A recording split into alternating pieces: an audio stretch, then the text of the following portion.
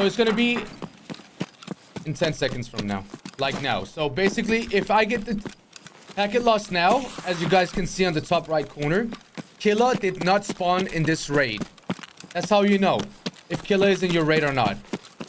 39, 38, 37-ish. 39 minutes and 38 seconds or 37 seconds. That's when the server tells you if Killa spawned or not. If you get the packet lost, that means he didn't spawn.